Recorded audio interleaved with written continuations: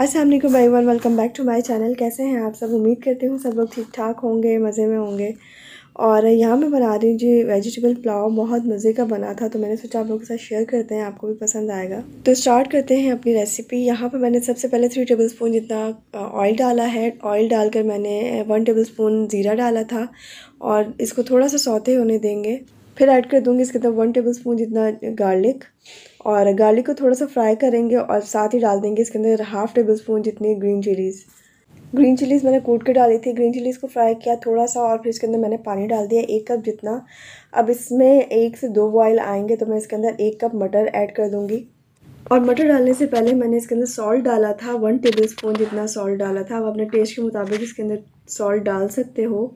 बस यहाँ मटर डाल दिए हैं और अब इसे कवर करूँगी और 10 मिनट के लिए इसे पका लूँगी। 10 मिनट के बाद मैं इसके अंदर डालूँगी वन कप गाजर और तीन मीडियम साइज़ के मैंने आलू लिए थे, उसे धो के काट लिया था और बस अब दोनों चीज़ों को, गाजर को और आलू को दोनों को एक साथ मैंने डाल दिया है। अच्छे से मिक्स करेंगे। थोड़ा सा पानी मैंने ऐड किया था। पानी डालने के बाद इसको कवर करके सेवेंटी परसेंट तक पका लेना है। दूसरी तरफ़ मैंने जो है डेढ़ ग्लास मैंने चावल के भिगो के रखे हैं। दस मिनट के बाद मैंने चेक किया था कि आलू कितने परसेंट गल गए हैं और गाजर कितने परसेंट गल गई है। उस लिहाज से आपने इसके अंदर चावल ऐड करने हैं।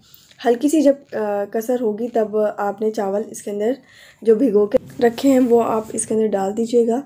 और आलू जो है ना कंप्लीट मत गलाइएगा। हल्की सी कसर हो तो फिर आप चावल ऐड कर दीजिएगा, क्योंकि आलू जो है दम में भी पकेंगे और चावलों के साथ भी पकेंगे। और मज़ीद इसमें कोई स्पाइसेस नहीं जाएँगे। अगर आप चाहो तो ब्लैक पेपर आप इसमें ऐड कर सकते हो। मैंने ग्रीन चिलीज़ के अलावा कुछ भी इसमें नहीं डाला। लाइट सा गरम मसाला मैंने डाला था और कोई भी मसाला मैंने ऐड नहीं किया। नमक और मिर्ची आप अपने हिसाब से बैलेंस कर सकते हैं। और चावल मैंने ऐड किए हैं। इसके पानी का जो हिसाब है वो यूँ रखना है कि चावल जो है वो बिल्कुल अंदर डिप होने चाहिए और ऊपर एक पानी की जो ले, लेयर होती है ना वो आ रही होनी चाहिए। खैर पानी मैंने डाल दिया है। आप अब इसे कवर कर दूँगी और मीडियम टू लो फ्लेम पर इसको पकाना है। और इसमें जो है एटी परसेंट नाइन्टी परसेंट आपके चावल कुक होने चाहिए, उसके बाद आप इस पर इसको दम पे लगाइएगा दस मिनट के लिए। खैर, इसमें हल्की सी कसर और पानी भी है थोड़ा सा तो मैं इसे दोबारा से कवर कर दूँगी। और सॉल्ट मेरे लिए थोड़ा सा कम था तो मैंने वापस से ऐड किया है थोड़ा सा और बस ये नमक डाल के मैं अच्छे से मिक्स करूँगी और इसे दोबारा से कवर कवर करके इसको पकने के लिए छोड़ दूँगी, क्योंकि अभी इसका पानी जो है बिल्कुल खुश्क नहीं हुआ और हल्की सी कसर भी थी। खैर लास्ट स्टेज पे मैंने यहाँ पे दो मोटी वाली हरी मिर्च डाली हैं। इसको अच्छे से मिक्स करेंगे और फिर मैं इसको दम पर लगा दूँगी और दम पर इसको 10 मिनट के लिए लगाना है। 10 मिनट के दम में ये कंप्लीट कुक हो जाएगा और इसके साथ मैंने ग्रीन चटनी का रायता बनाया था। ग्रीन चटनी के रायते के लिए मैंने हाफ़ बंच धनिया लिया था हाफ़ बंच पुदीना लिया था। और दो ग्रीन चिलीज़ ली थी।